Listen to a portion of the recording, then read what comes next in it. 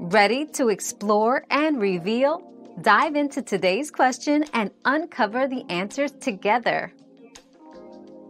The HDR setting in Red Dead Redemption 2, RDR2, can be found in the game's display options. Navigate to the Settings menu from the game's main screen or pause menu. Under Display Options, you'll see HDR Calibration.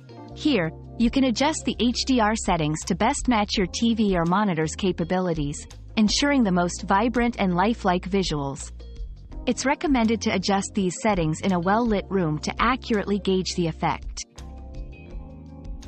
Another mystery solved, but many more await. Keep up with our daily discoveries by subscribing and turning on notifications.